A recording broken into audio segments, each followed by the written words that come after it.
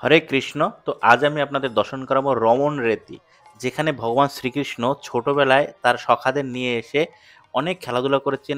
এই যে রমণ রেতিতে এখানে প্রতিটা ধুলোকণায় মিশে আছে ভগবান শ্রীকৃষ্ণের চরণের ধুলো। তো আপনারা অবশ্যই বৃন্দাবন ধামে যখন আসবেন, তখন অবশ্যই এই রমণ রেতিতে যাবেন। এটা খুবই একটা পূর্ণ স্থান। আর এই স্থানে যদি আপনি যান, আপনার যদি অক্লান্ত পরিশ্রমও হয়ে যায়, আপনি যখন রমণ রেতিতে আসবেন, এখানে এত আনন্দ, এখানে সব মানুষ এত আনন্দ করছে, যা দেখে আপনার পুরো ক্লান্তি দূর হয়ে যাবে।